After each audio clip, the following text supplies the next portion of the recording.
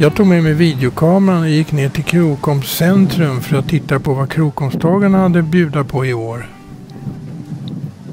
Har byföreningens Krokomsdagen idag? Ja, och det är ett arrangemang som återkommer varje år. Och det här, nu är det trettonde gången i, i rad som vi har det här då. Och det är då eh, den sista lördagen i augusti som vi kör det här. Vad ska hända?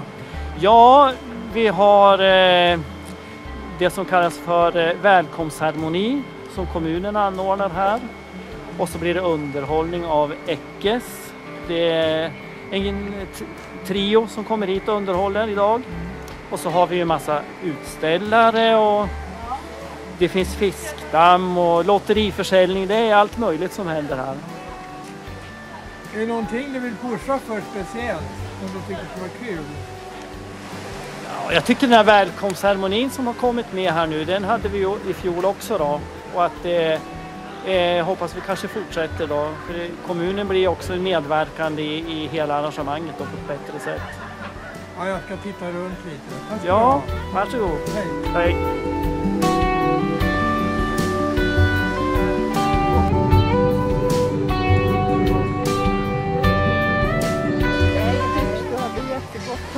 Jag måste smaka.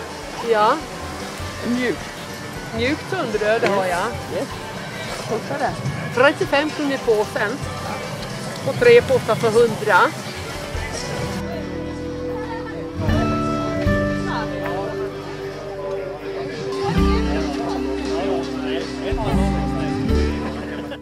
På andra sidan bron så var det loppis och bakluckeförsäljning.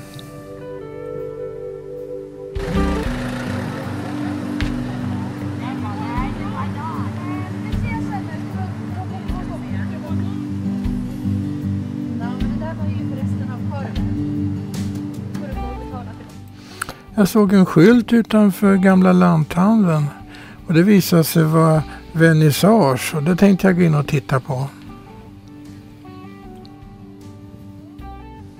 Just det, vad är det för någonting vi ska se här? Ja, det är en fantastisk utställning här. Ta en grafiker från Tjeckien som heter Ludek Dostar. Och även i nästa ram som var ett gammalt uthyrningsram när det var gästgiveri förut. Och sen så kan man gå vidare. Är tre fantastisk tavla med fiskar. Och titta på det alltså.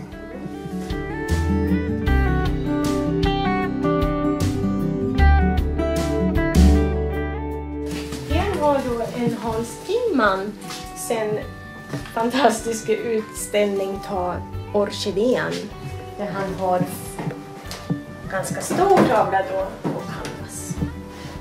Jaha. Ja. Och Hans Tingman har ju haft vandringar på Ansättfjället i många år. Har tillsammans med Rut Magnusson tagit fram en hembok också som han säl. Vad trevligt. Ja, Tack. tack.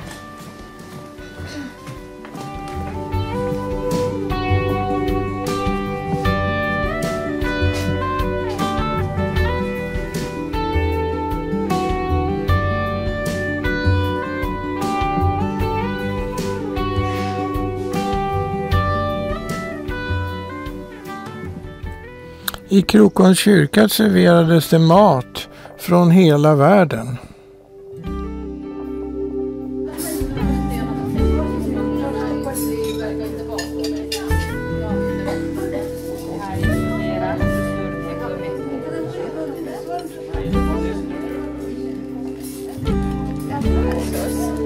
Man äter med den där. Ja. Det är lite starkt ibland. Och det är samma. Tillbaka till Östersund. Från Östersund. Okej, Tack. varsågod. Vad roligt. Har det varit många här idag? Ja, det har det. Det har varit över hundra personer och ätit lunch. Vi har haft mat från eh, Afghanistan, från Eritrea, från Libanon och sen kakor från England. Det låter gott. Och jag tror alla har ätit sig mätta och varit nöjda. Ja, jag missade många av arrangemangen. Men det är alltid roligt att gå på Krokom när det händer någonting. Nästa år, sista lördagen i augusti, så är det nästa Krokomsdag. Det ser jag fram emot.